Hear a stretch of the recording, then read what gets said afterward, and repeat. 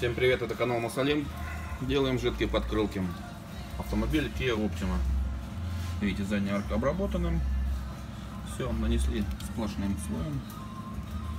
Толщина его достигает 4 мм. Сейчас ждем, пока это немного все подсохнет и будем собирать.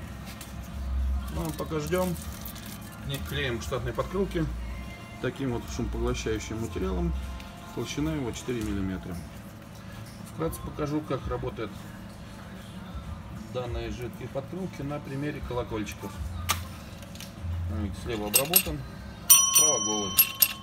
Сами можете ощутить разницу. Всем спасибо за внимание. Подписывайтесь на наш канал.